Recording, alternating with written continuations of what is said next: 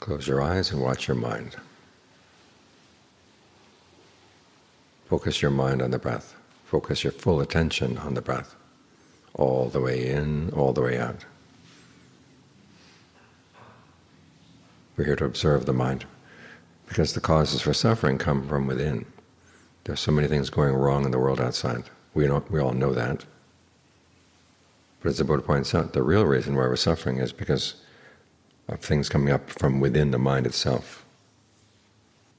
We don't know how to deal with the events of the world without greed, without aversion, without delusion. And it's the greed, aversion, and delusion that are causing the trouble. So we have to look in, into their source. They arise right here, right now, here in the mind. So we use the breath as an anchor to make sure that we're right here, right now.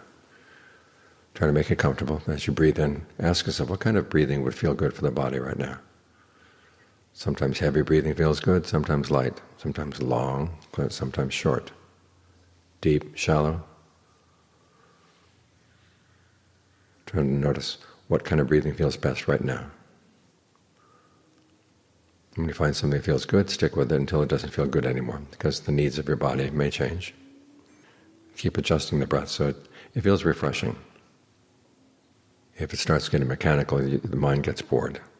It's going to go running off. So take an interest in this breath element in the body. Because when you breathe in, it's not just the air coming in and out of the lungs. It's the movement of energy throughout the body. So as you breathe in, notice how do things feel in your arms, how do things feel in your legs, the whole torso, the head, the whole body. And wherever there's any tension or tightness as you breathe in, just think of it relaxing.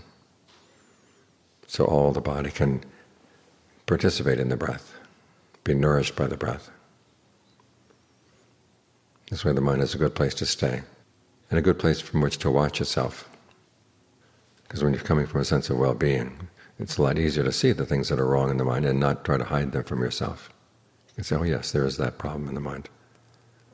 There is some greed there, there's some anger. Do I have to go with them? No.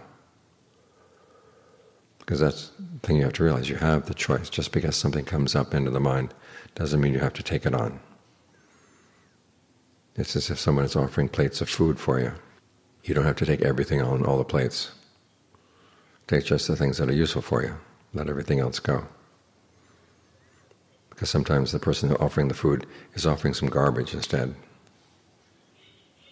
You don't want to take everything. Sometimes the food that's being offered doesn't have much to choose from, nothing much good.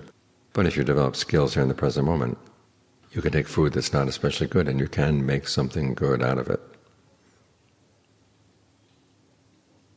So learn that skill. When something comes up in the mind, you have the ability to step back and decide whether or not you want to get involved. Take on only the good things or the things you can potentially make good. Everything else you let go. In this way you're being responsible for not only the shape of your mind, but also your contribution to the world around you. Because everything you do and say and think comes out of the mind. So you want to make sure the mind is in good shape. If each person were to be responsible for his or her mind, allowing only skillful things to come out, the world would be a much better place. So this can be your contribution. Take care of what you're responsible for. And don't neglect your responsibilities because you want to straighten other people out. Start here.